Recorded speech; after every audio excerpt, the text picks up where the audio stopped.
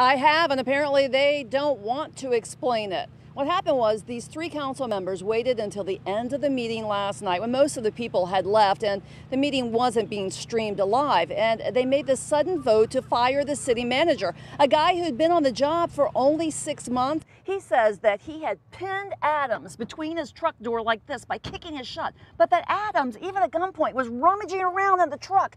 Custer says he felt sure he was reaching for a gun. Suddenly, Seth Adams turns, spins out. Custer says he thought he had a gun and he shot boom, boom, boom, boom. Sure were, because, you know, even though right now, walking around the mall, you can tell that everything's back to normal, you'd never know there was a shooting out in the parking lot except for the 15 bullet casings.